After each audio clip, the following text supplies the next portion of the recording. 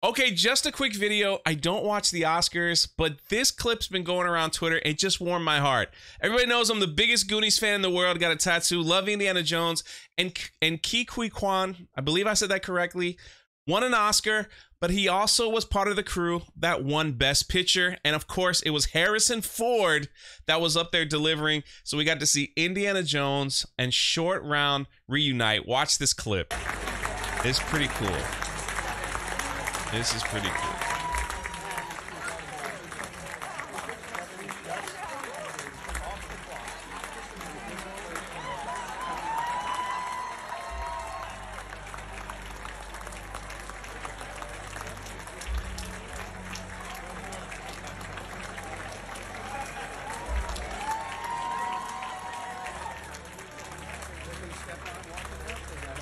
I mean, I I absolutely loved it. I absolutely loved it.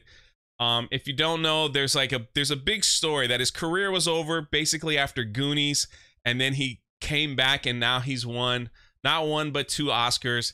And I don't know, man, that's just like heavy nostalgia. And I'm just like, come on, man. Bring short round back.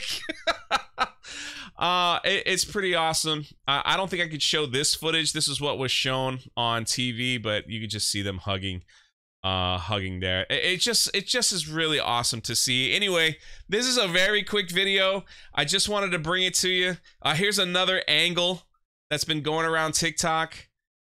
Uh look at that. Look at that.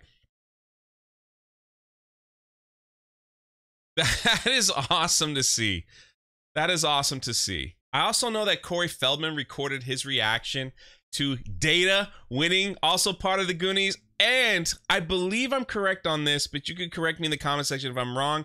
I do believe Chunk, Chunk, who was in the Goonies, is also his manager, like represents him. I think that's just so cool. I think that's just so cool, at least for someone like me that's a super huge Goonies fan.